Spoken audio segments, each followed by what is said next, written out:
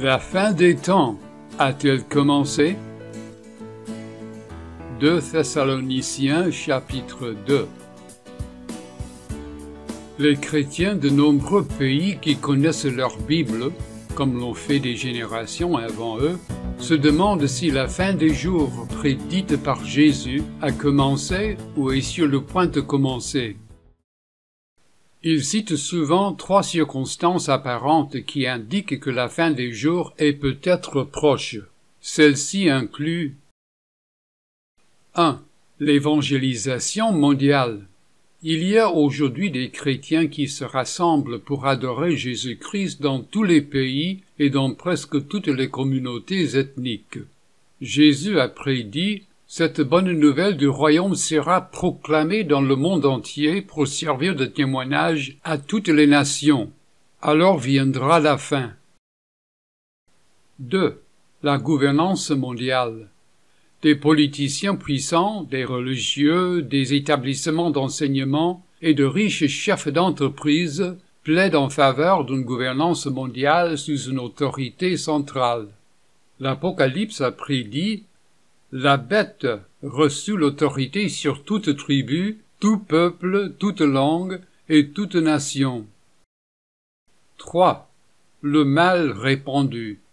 Les cartels transnationaux profitent ouvertement de trafic des stupéfiants, de pornographie perverse, de violence de la foule, de trafic d'êtres humains, d'avortement et de djihad religieux. Le Nouveau Testament est prédit dans les derniers jours, les hommes seront égoïstes, amis de l'argent, vantards, orgueilleux, blasphémateurs, rebelles, violents, cruels, ennemis du bien, traîtres, emportés. Vers l'an 51 ou 52, l'apôtre Paul écrivit une épître adressée aux chrétiens de Thessalonique en Grèce, qui étaient alarmés par le fait que le jour du Seigneur eusse commencé sans que le Seigneur Jésus soit venu les enlever de la terre. Car Paul leur a écrit deux ans plus tôt, expliquant que le Seigneur Jésus apparaîtrait et les prendrait. Le Seigneur lui-même descendra du ciel, et nous qui serons encore en vie, nous serons tous ensemble enlevés avec eux sur les nuées à la rencontre du Seigneur dans les airs. Le jour du Seigneur viendra comme un voleur dans la nuit. Mais vous, frères et sœurs, vous n'êtes pas dans les ténèbres pour que le jour vous surprenne. Alors que certains chrétiens évangéliques américains soutiennent que les Thessaloniciens s'attendaient à ce que Jésus revienne les enlever avant le début du jour du Seigneur. D'autres chrétiens soutiennent que les Thessaloniciens s'attendaient à ce qu'il revienne peu après le début de ce jour, ce qu'il ne fit pas.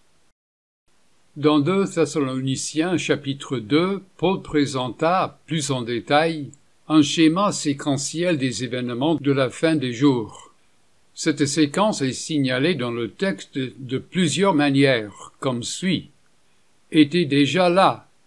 Arrive d'abord le retient, agit déjà, encore, alors apparaîtra, anéantira par, afin que, le même texte de 2 Thessaloniciens chapitre 2 énonce au moins 14 actions et événements spécifiques qui peuvent être classés dans une séquence temporelle.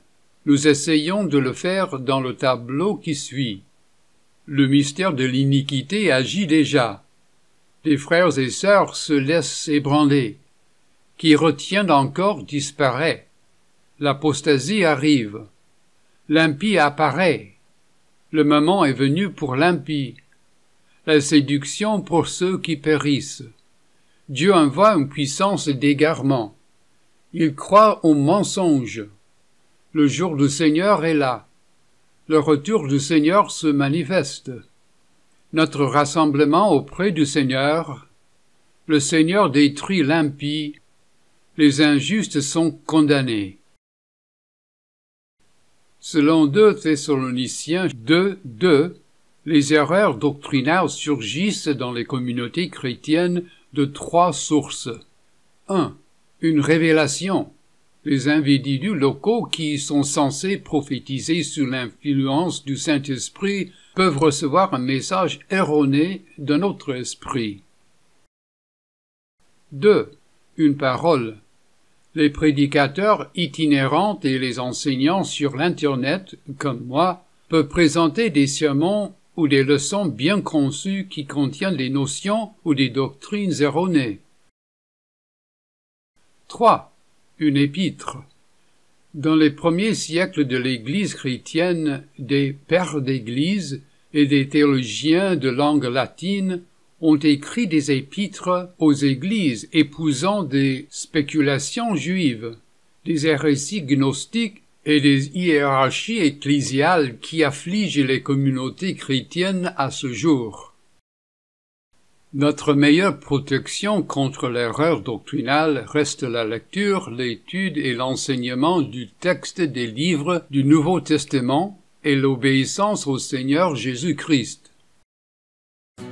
Le monde approche peut-être du début de la fin des jours, donc les chrétiens devraient rester attentifs à l'apparition de l'homme du péché, l'Antéchrist.